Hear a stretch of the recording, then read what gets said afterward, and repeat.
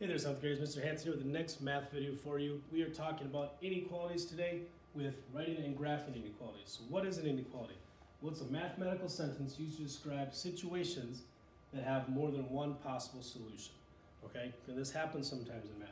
So we have our inequality symbols here, the less than, greater than, less than or equal to, greater than or equal to, or not equal to. Okay, so when it's less than, the meaning of that is x is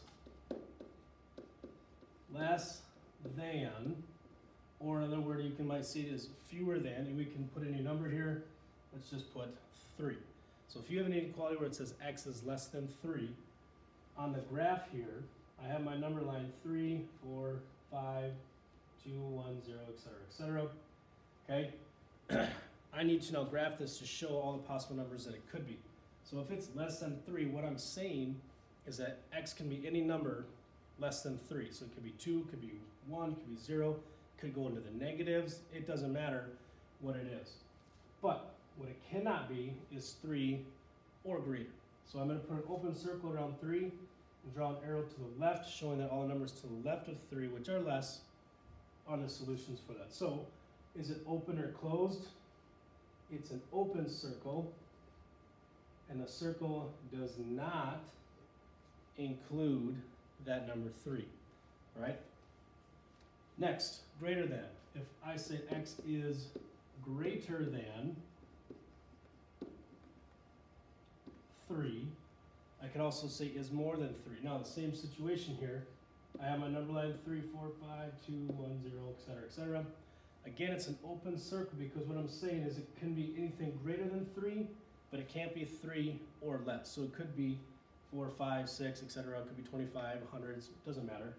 So again, it's an open circle, and again, it does not include the value of three. Now, when we get to the less than or equal to or greater than equal to symbols, it does include that number. So that's going to look different when we graph it. So this would be written as x is less than or equal to 3. So I'm going to use 3 every time here. So here's 3, 4, 5, 2, 1, 0, etc. I'm going to close that circle because it could be 3 or anything less than that. So again, the arrows to the left because those are numbers left, less, excuse me.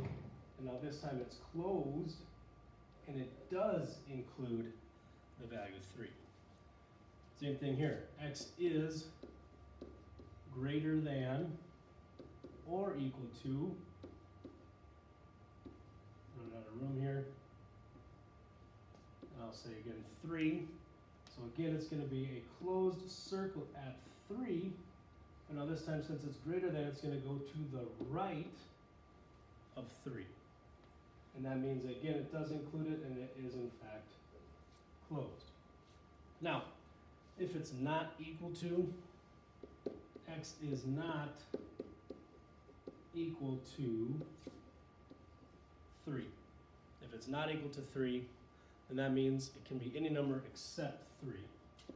So here's 3, 4, 5. I just put an open circle on 3, and I can draw arrows both ways because it can be any, does not include, it can be any number except for 3. So x is not equal to 3, anything but 3, when this doesn't happen a ton. So let's get to our examples. We have to take an inequality, write one, and then graph one from the word problem. So example one, the speed limit is 70 miles per hour okay? So we're gonna call S for the speed limit, and it's 70 miles per hour, which means it can be 70 miles or less, right? So that would be less than or equal to 70. So here's my number line, here's 70. I can go by 5, 75, 65, etc. It's gonna be a closed circle at 70, and anything less than that, okay? So that's how that goes.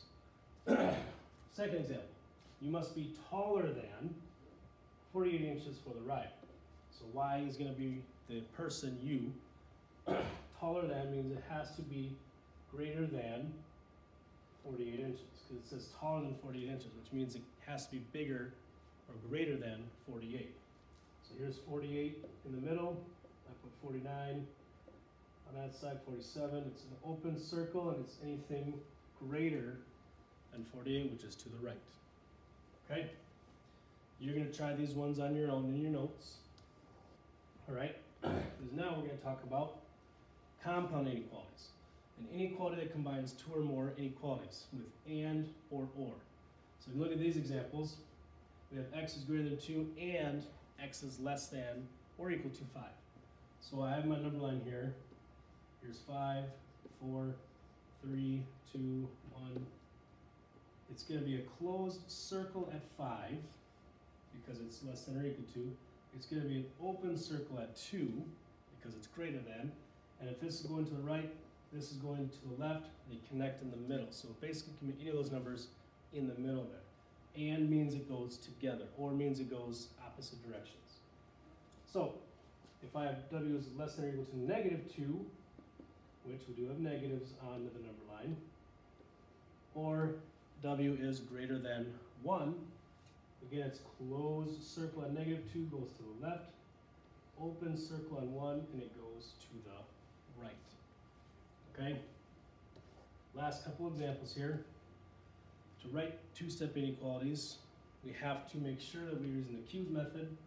So we have 8 less than the product of negative 3 and a number is greater than negative 26.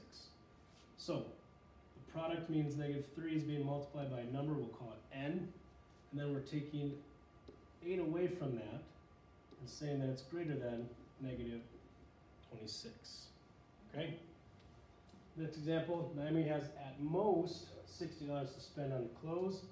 She buys a pair of jeans for 22 and the rest on t-shirts. Each t-shirt costs $8. So $22 on jeans and t-shirts, we'll call it T, so we have 8 here, excuse me, times T.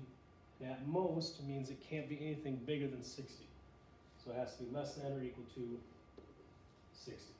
So 22 plus 8 times T, number of t-shirts she buys, less than or equal to 60. That's it for this video. We'll see you next time.